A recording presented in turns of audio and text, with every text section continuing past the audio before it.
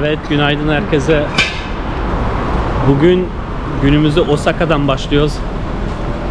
Osaka'ya geldik ve bu şehri gezmeyi karar verdik.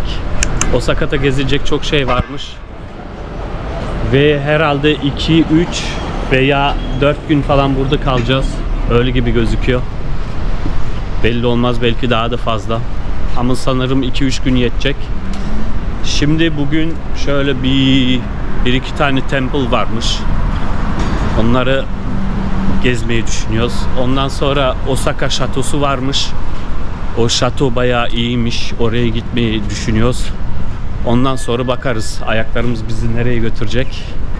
Hava şu an için iyi ama gün içerisinde yağmur falan gösteriyor. Hava durumu. Bakalım nasıl gelişecek. Bu da şimdi Osaka sokakları.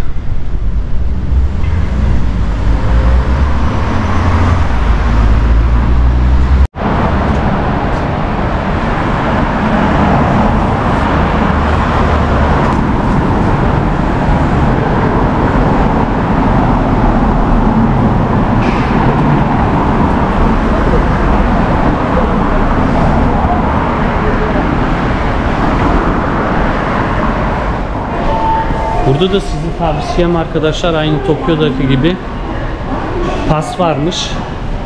Bir günlük, iki günlük falan e, Osaka pası. Yani bunu bir kere ödüyorsunuz bir gün için kullanıyorsunuz istediğiniz kadar. Bunu almanızı tavsiye ederim.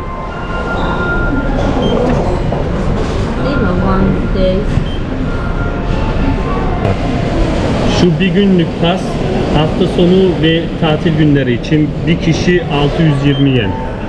Bir kişi.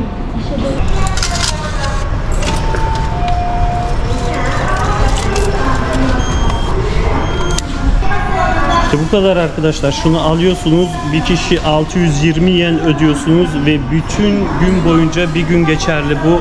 Bütün metroları binebiliyorsunuz. Sizi tavsiyem bu kartlardan alın buralara gelirseniz.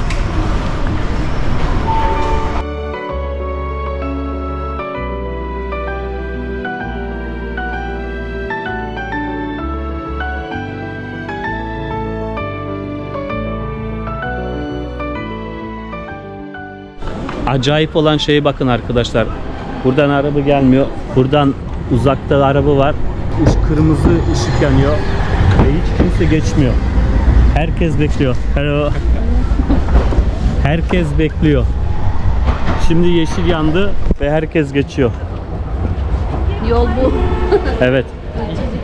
Yani ya ışık kırmızı yandı mı araba geçmese bile kimse karşıyı geçmiyor.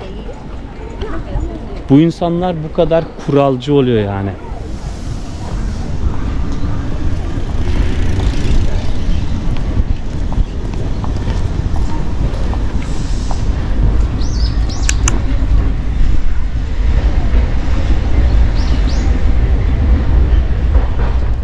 Burası arkadaşlar Sumiyoshi Taisha tapınağı oluyor. Şu küçük kız çok şirin ya. Şunu baksanıza ya. Oy. çok şirin bir şey ya. Şuna baksanıza. Hello. Bu küçük çocukları böyle giydiriyorlar. She's so cute. So beautiful. Thank you. Arigato. Bak oradan da geliyor bir tane. Baksana. Bu tapınak Şintoizme ait olan bir tapınak. Daha önce dediğim gibi Japonya'da iki genel din var. Biri Budizm, biri de Şintoizm. Bu tapınak da Şintoizme bağlı olan bir tapınak. Dudağımız buluşturdu. Ha, bak burada oğlan versiyonu geliyor. Bu ağlıyor bu. Bu ağlıyor.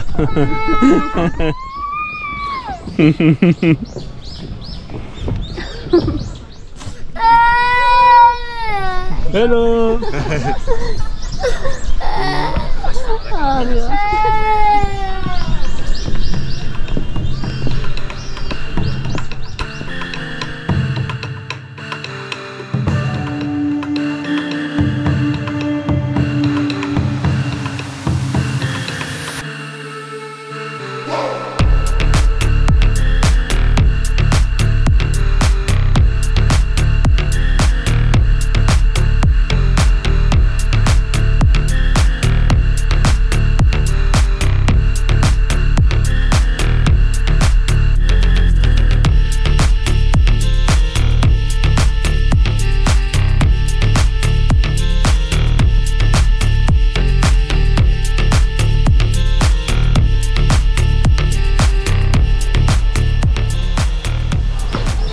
Ağacın acayipliğine baksanız arkadaşlar sanki ölmüş gibi kurumuş gibi sanki ağaç.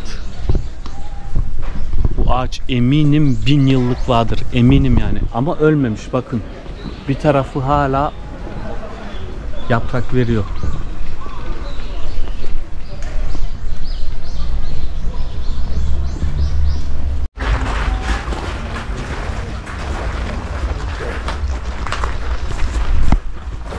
Herhalde şu iki ev çok önemli evler bence. Çünkü insanlar önünde hep dua ediyorlar. Şöyle mesela bakın birisi geliyor dua edecek.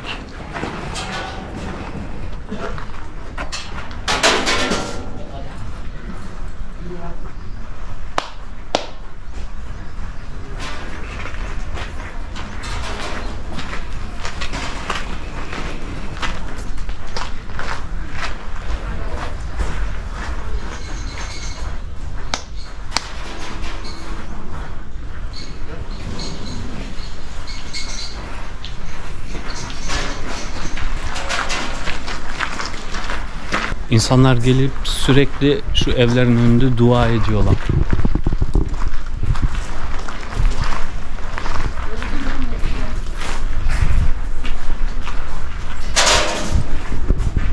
İçine bir iki kuruş para atıp dua ediyorlar.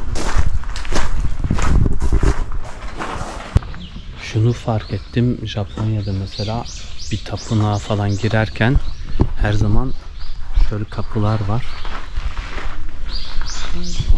Ve kapıdan girmeden eğiliyorlar. Yani şu şekilde içeri giriyorlar, dualarını yapıyorlar ve çıkarken tekrar bu kapıdan çıkıp bir daha eğilip ondan sonra terk ediyorlar mekanı. Yani saygıdan eğiliyorlar girerken ve çıkarken.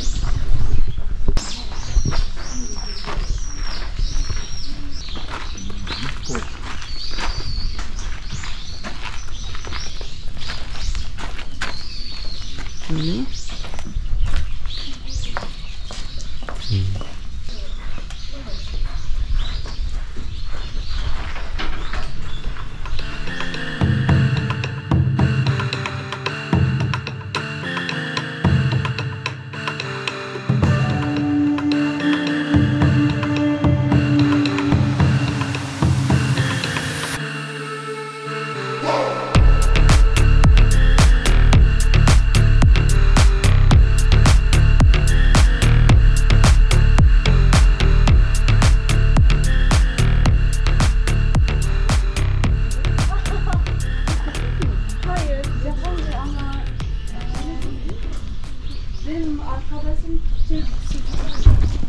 Ha Japon musunuz siz? Evet.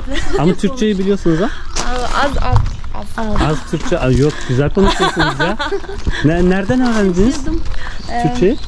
Arkadaşım sevgilim var benim. Türk. Evet. Türkiye'de mi burada mı? Burada. Ha öyle öğrendiniz ha. Vay be. Türkçe bilen bir Japon çok tuhaf. Bana sorunca gel fotoğraf çekelim. Tamam çeken ben sizi ikinizi fotoğraf. tamam. Adı ne? Adım ben Jun. Jun. Evet, Jun. Jun. İyi tam Japon ismi. Güzel. Sen gittin mi Türkiye'ye? Hiç gitmedim. Hiç gitmedim. Türkiye güzel. Japonya gibi böyle biraz şey bir ülke. Tarihi bir ülke. Ee, ne zaman geldin? Biraz Bir hafta oluyor. Hı. Sadece Osaka? Yok 3-4 gün Tokyo'yu gezdik. Ha. Sonra Fuji Dağı'na gittik. Aa. Fuji Yokohama. Hay Şimdi dün Osaka'ya geldik. Aa, Sonra Kyoto, Hiroşima falan öyle gezeceğiz işte. ee, güzel. güzel güzel. Te, arigato gozaimasu. Teşekkür ederim. Sayonara. Vay be Türkçe konuşan bir Japonlu bulduk sonunda. Şaşırdık birden. Kendisi geldi bizi doğru Türk müsünüz diye. Demek ki Türkçemiz de her yerde geçiyormuş ya. Güzel bir şey bizim için. Bayağı iyi öğrenmiş ama. Değil mi? Güzel konuşuyordu baya. Şu kimonolu küçük çocuklardan her tarafta var ya. Her tarafta. Buraya baksanıza. Çok şirin oluyorlar.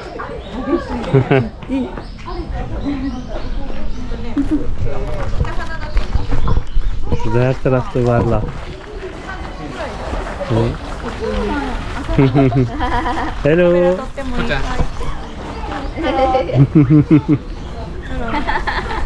Hello. Çok güzeller ya.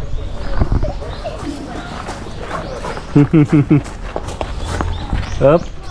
Düştü.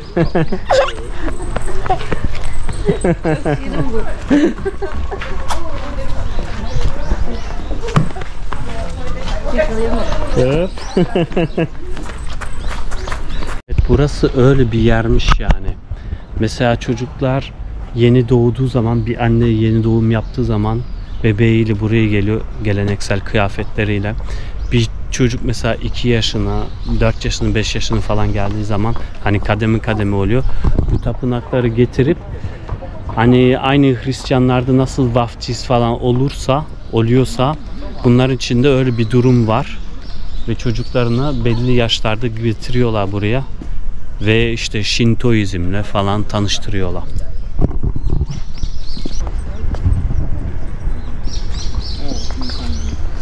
みっちゃんパパの方向いて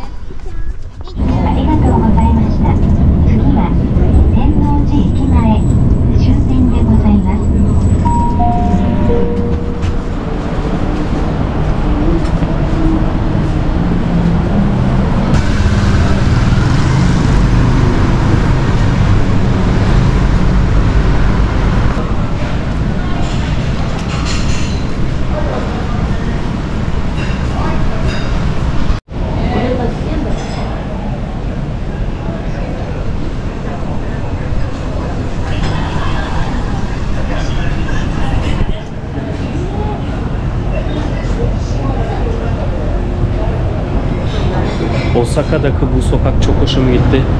Çok geleneksel duruyor. Böyle eski tarz Japon lokantaları var her tarafta.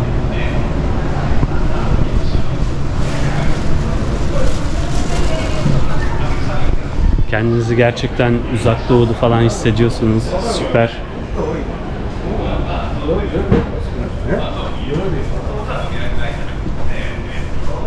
Bu tarz sokaklar Japonya'daki bütün büyük şehirlerde var aslında.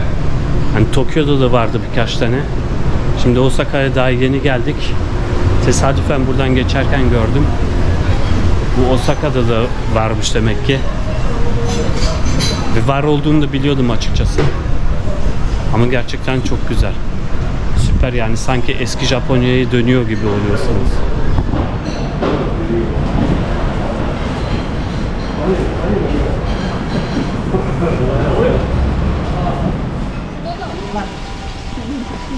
Şöyle aş- aşağı yukarı birçok sokak köşesinde falan bu tür şeyler görebiliyorsunuz burada. Şöyle. İnsanlar geliyor şunun içine içine küçük para atıyorlar. Şunu bilmiyorlar, bilmiyorum ne yapıyorlar. Su falan içiyorlar galiba ve önünde dua ediyorlar. Orada küçük bir tane Buda heykeli var. Önünde dua ediyorlar şöyle. Sabah işe giderken falan adam iki saniye durup duasını yapıyor. Böyle.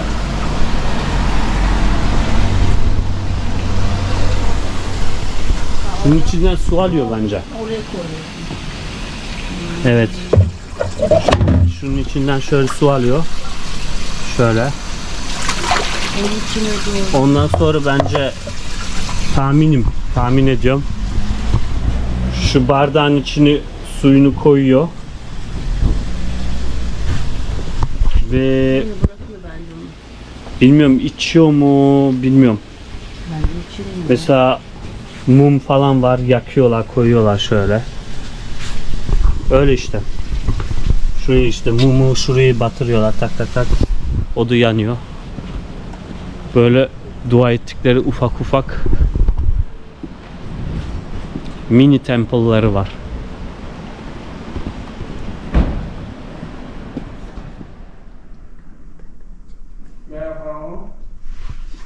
Türk Türkiye. Do, do you know Türkiye? Turko? Ah, yes. Here is a Shintoist temple. Ah, yes. In uh, camera. Ah, okay, okay. Okay. Yes. Gomen. İçerideki monku sordum da hani bu tam tapınağın içinde Buda heykeli yoktu. Hiç yoktu ve kendi kendime dedim kesin burası Şintoizme bağlı bir tapınaktır.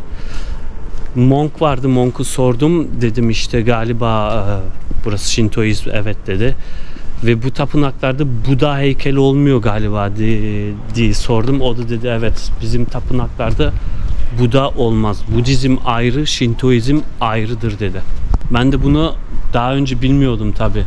Hani her uzak doğu ülkesinde Budizmin bir yerde bir bağlantısı vardır diye düşünüyordum. Ama Şintoizm ayrı bir şeymiş yani.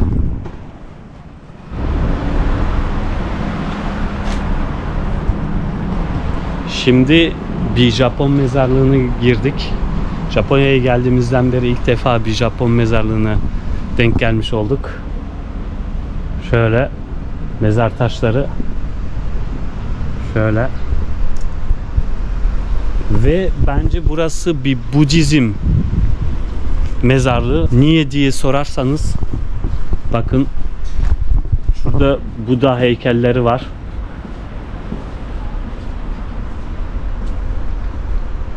Şöyle. Yoksa bu heykeller olmazdı. Hani burası Şintoizme bağlı bir mezarlık değil. Benim tahminim.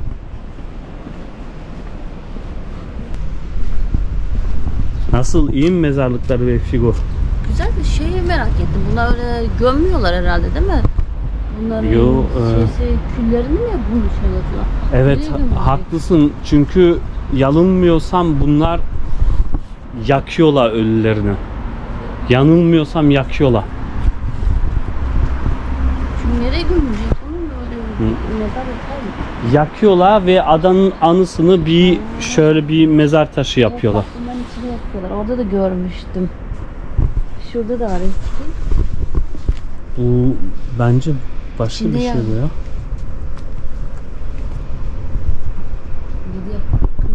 Bunun içinde Şurada da var aynısını. çiçek mi, miçek atıyorlar ya içine. Bak çiçek falan var. Bence mezar taşların üzerindeki biraz solmuş olan çiçekleri bunun içine atıp yakıyorlar. Ve o yanan çiçeklerin dumanı bunları şey gibi, dua gibi üzerlerine çöküyor bence.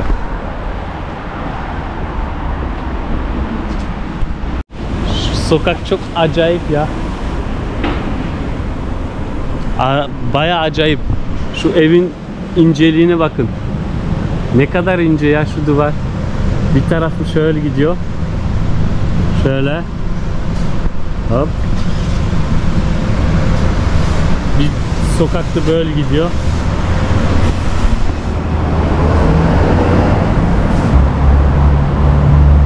Amma kalınmış ha, evin duvarı ha. Nasıl yaşıyorlar içinde bilmiyorum.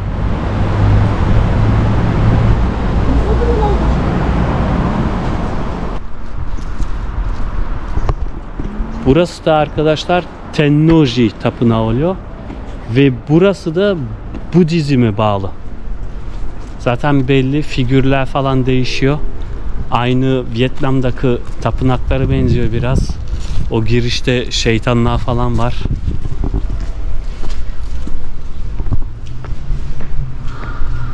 Bunlar Budizm'de şeytan gardiyanlığı oluyor. Ve genelde girişin sağ ve sol tarafında hep bulunur bunlar. Budizm tapınaklarında.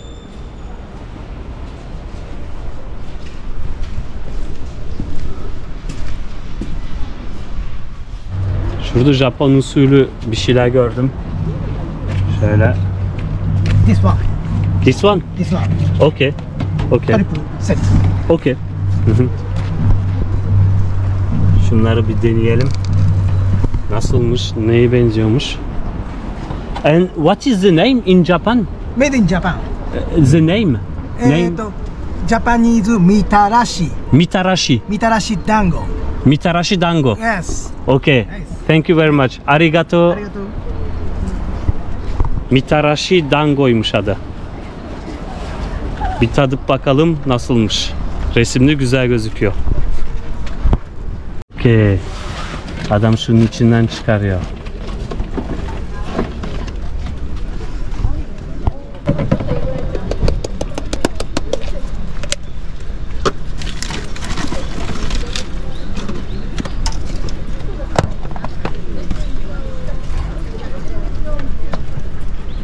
üstünü bir şeyler sürüyor böyle. Is this a bean? Red bean? Uh, uh, beans. Beans, and, yes. Mhm. Anko. Okay. Japanese anko. O üzerine sürdüğü de şey oluyor. Kırmızı fasulye oluyor. Bunlar çok kullanıyor onu. It's one, okay. two, three, triple set. Okay. Bu aldığımda 450 yen. 3 tanesi. Okay. Okay, arigato gozaimasu. Okey. Arigato gozaimasu. 550。 Arigato. Thank you. Arigato. Sayonara. さよなら。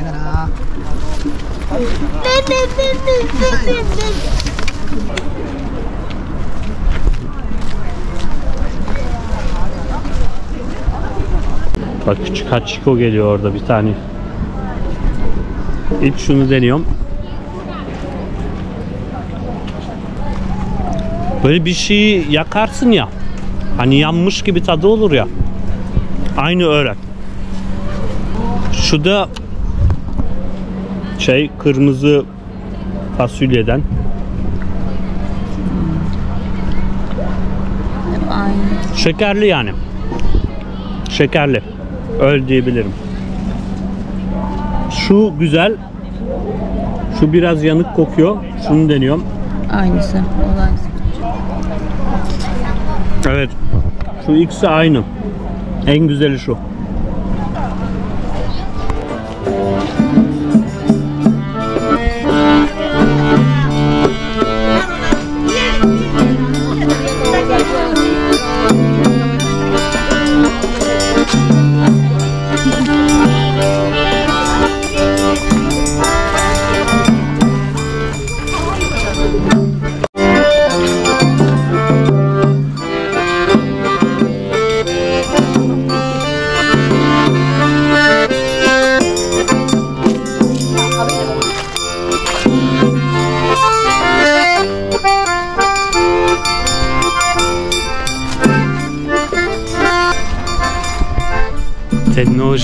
Efsane bir gösteri.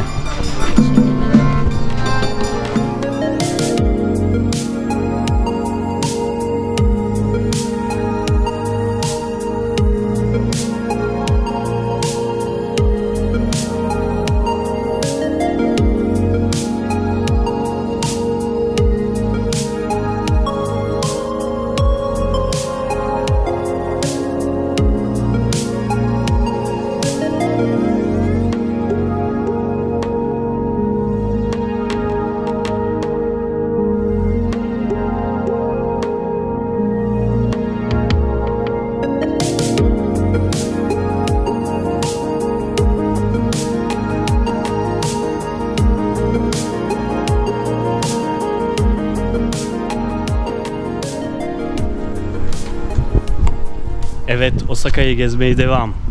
Ve şimdi sıra geldi Osaka şatosuna. O Japonya'nın en ünlü şatolarından biri olan Osaka şatosu.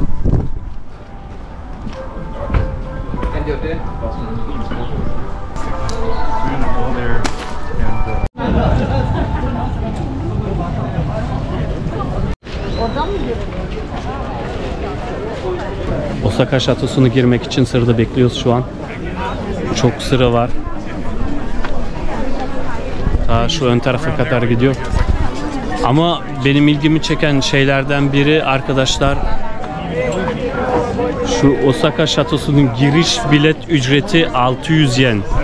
Yani 4 euro falan yapıyor. Düşünebiliyor musunuz? Şu devasa yapıtın girişi 600 yen sadece. Bu gerçekten Avrupa'da böyle bir şey olmuş olsaydı eminim giriş ücreti 20 Euro'dan aşağıda aşağısında olmazdı.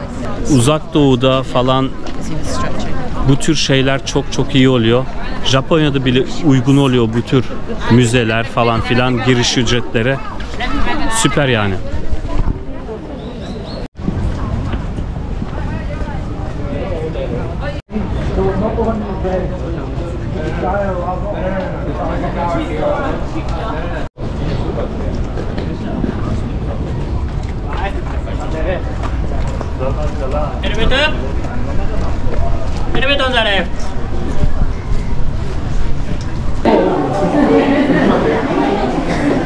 Burası boş, burası dolu. Neden? Çünkü burada merdivenlerden çıkıyorsunuz.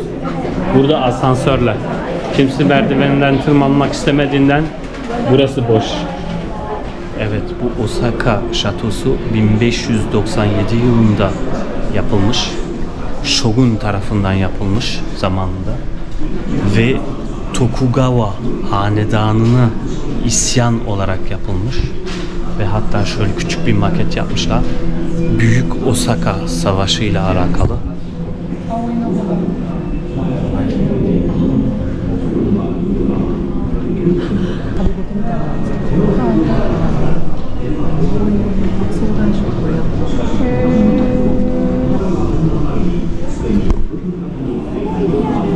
O zamanki savaşı canlandırmışlar yani.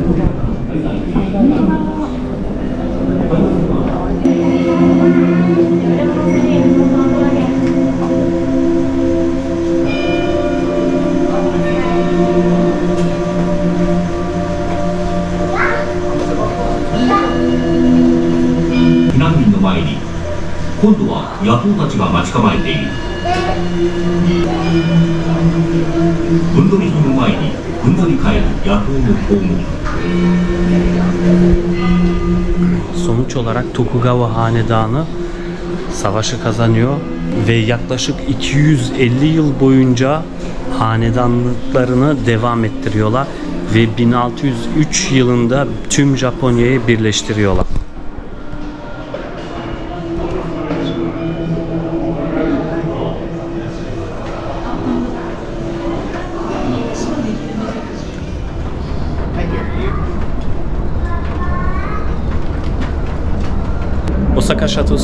8 kattan oluşuyor ve biz şu an en tepedeyiz. Ve tüm şehre görebiliyorsunuz rahatlıkla. Eğer Osaka'ya gelirseniz bu tecrübeyi yaşayın kesinlikle.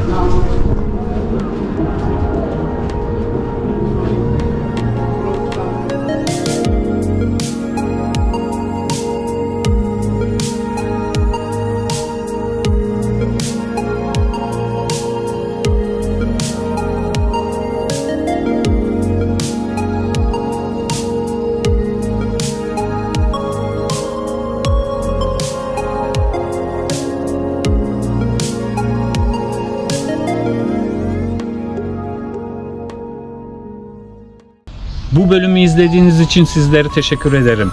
Umarım videomu beğenmişsinizdir. Videomu beğendiyseniz like atmayı ve abone olmayı unutmayın. Bir sonraki bölümde görüşürüz. Ciao.